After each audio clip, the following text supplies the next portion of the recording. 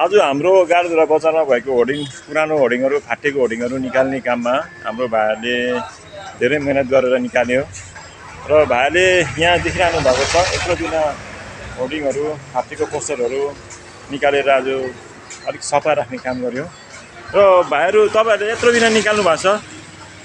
र अब भविष्यमा के भन्न चाहनुहुन्छ तपाईँहरू? नमस्कार सबैजनालाई। हामी क्लिन एन्ड ग्रिन गाडी घोडाको कर्मठ सदस्यहरू आज हाम्रो गाडी घोडा भएको ठुलो होल्डिङ्सहरू होइन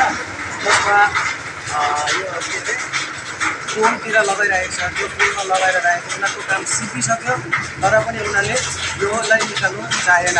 जसले गर्दाखेरि चाहिँ हाम्रो गाडी घोडालाई धेरै सुन्दरतामा लाभ पुर्याउने एउटा काम गर्यो। र आज हामी सम्पूर्ण क्लिन गाडी घोडाको भाइहरू दाजुहरू सबै मिलेर यो बिग्रेको टुटेको फुटेको भाँचेको बोर्ड सबैलाई निकालेर आज सफाइ गरेको यति छ आज भन्नु धन्यवाद।